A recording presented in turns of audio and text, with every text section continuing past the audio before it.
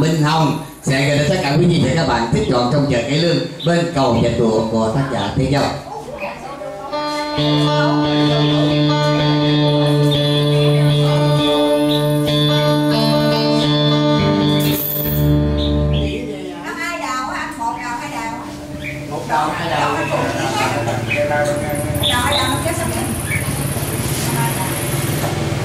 Thank you.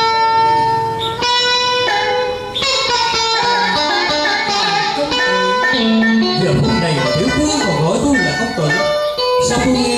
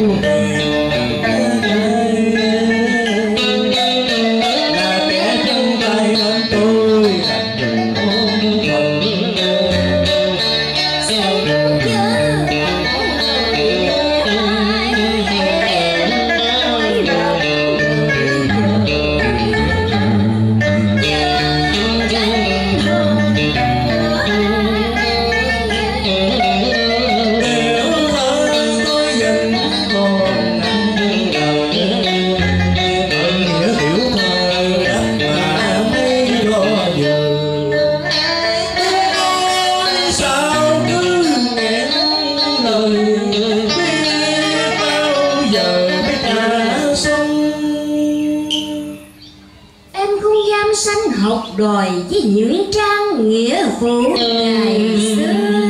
Ừ.